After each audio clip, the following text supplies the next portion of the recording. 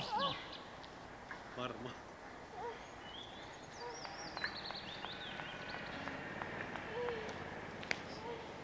Onko sä tietoa, mutta saako noissa ajaa noilla käsihommilla?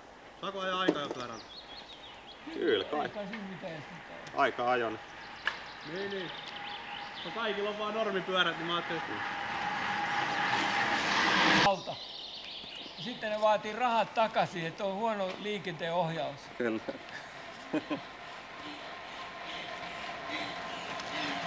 Hyvä Minna.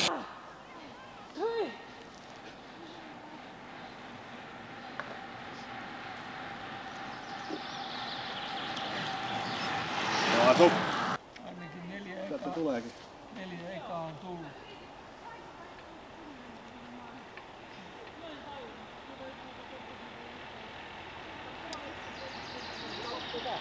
Paljon, paljon!